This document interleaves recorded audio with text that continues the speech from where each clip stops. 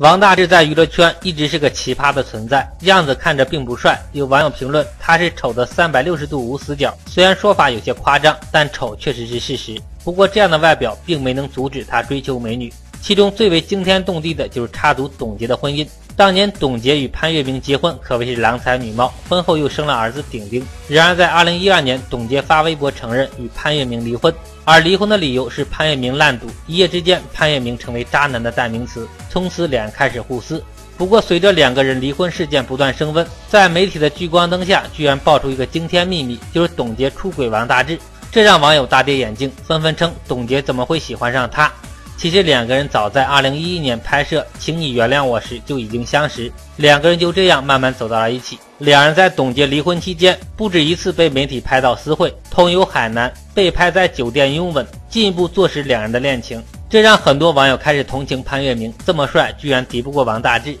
然而，就在董洁与王大治恋情不断曝光下，王大治也被扒出了更多黑料。其中一个便是王大治其实有个前妻，这个前妻叫戴璐，长得非常漂亮，而且还是文艺青年。两个人在2010年结婚，而婚后不久，两个人就匆匆离婚。王大治与董洁恋情曝光后，董洁婚姻破裂，事业停滞不前。反观王大治又交了新女友，有网友在机场拍到王大治与新女友一路有说有笑，而且这个女孩身材高挑，肤白貌美。不得不说，王大治的福气真好，甚至有网友称其女友像全智贤，比董洁还要美。王大治虽然外形丑，不过的确是个人才，演技非常不错，自己还能写歌，还当编剧，证实了那句话：上帝给你关了一个门，一定会为你打开一扇窗。有才华的王大治敢想敢做，看到美女敢追，或许才是他能收获美女芳心的秘密吧。